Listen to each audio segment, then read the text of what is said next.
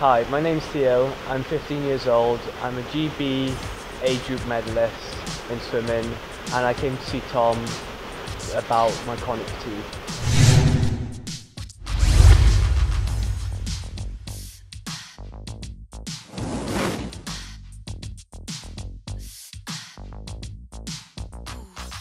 Hi, I'm Theo's mum and we came to see Tom in the tuning room to see whether we could help my son Theo.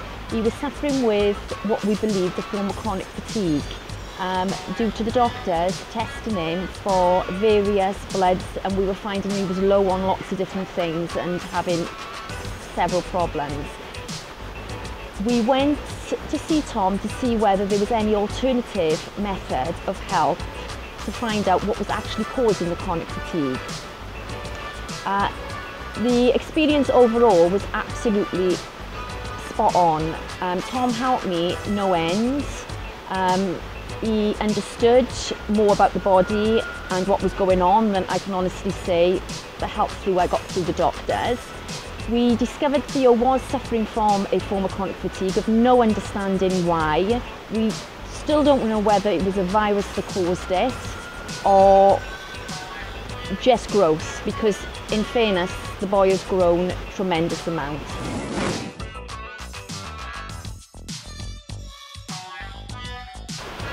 At the start of my illness I was feeling very drained, tired and very weak while swimming.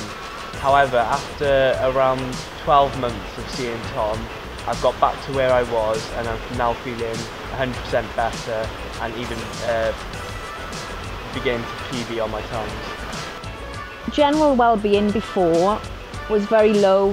He used to get up in the mornings feeling extremely low. He used to just put his head in his hands, um, almost drawn to tears. He, his eating habits, he struggled to eat. He was having difficulty actually chewing. So we couldn't quite understand what was actually going on.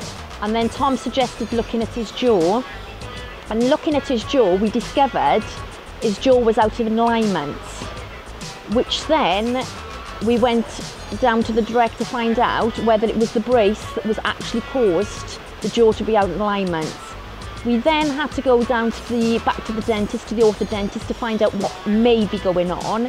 Tom corrected his jaw and instantly, wasn't it, it was almost 100% feeling better after correcting the jaw. But unfortunately, every time we put the retainers back in, we went backwards again until we, in the end, we decided not to put the retainers back in at all. And we have noticed since then, we have gradually getting stronger and stronger and his jaw now is staying within place.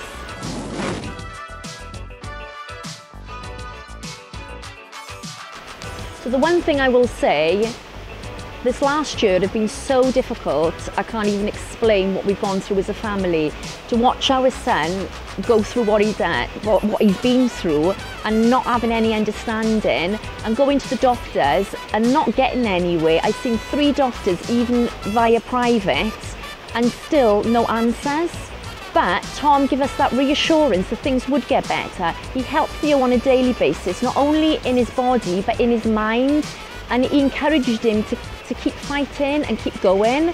So anyone I'd honestly say who was going through anything like what we have experienced, I really can't recommend coming to the tuning rooms.